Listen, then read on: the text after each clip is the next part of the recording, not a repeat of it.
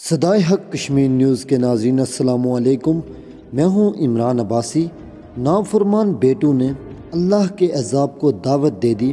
آزاد کشمیر بیٹو نے سگے باپ کو رسیوں سے باندھ کر مار ڈالا۔ اس افسوسناک خبر کی تفصیلات سے قبل نئے آنے والے ناظرین کو بتا چلوں کہ ہمارے چینل کو سبسکرائب اور ساتھ میں دیے گئے بیل آئیکن کو ضرور دبائیں۔ مظفر آباد ناحلف بیٹو کی جانب سے قید میں باندھ کر رکھا جانے والا بد نصیب والد دنیا کے غموں سے آزاد ہو گیا۔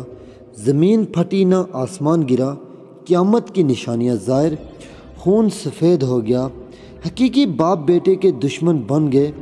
گڑی دوبٹہ کے نوائی علاقے بانڈیاں بجاڑا میں صفاق حقیقی بیٹو نے فالج سے متاثرہ باپ کو بند کمرے میں باندھ کر رکھا، جو آج رضائے الہی سے وفات پا گیا۔ تفصیلات کے مطابق محمد رشید ساکنہ بانڈی بجاراں کو چند سال پہلے فالج کا مرض لاحق ہو گیا، جس سے تنگ آ کر صفاق بیٹو نے اپنے سگے باپ کو چارپائی سے باندھ کر گھر میں مظالم کے پہاڑ توڑتے ہوئے عذاب الہی کو دعوت دینا شروع کیے رکھا۔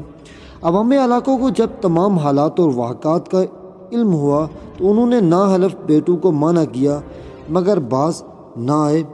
آخر کار مجبور و بےکس فالج زدہ رشید زندگی کی بازی ہار گیا۔